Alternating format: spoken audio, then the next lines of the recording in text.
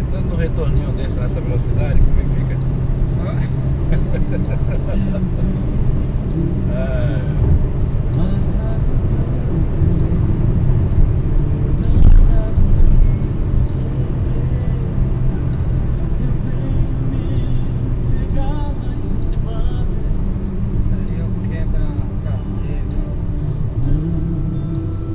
Valeu galera, é só para registrar.